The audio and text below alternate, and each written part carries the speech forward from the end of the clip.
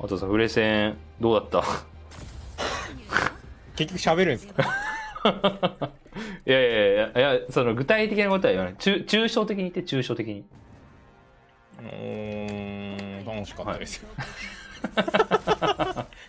もうそれ以外何言えばいいんうんですか、そうね。何も言うことないですよそれが。いや本当にねあの3グランプリ目のね本当にラストレースなんかもう涙なまなしじゃもう見られないと思うよ本当に。感動した。あーそこが、まあ、一番盛り上がるポイントかもしれないですね。ねえ本当ね。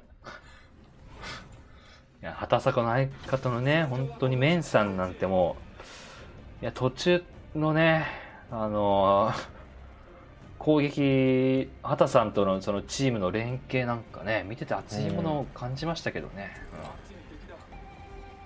うん。まあ知らないですけど、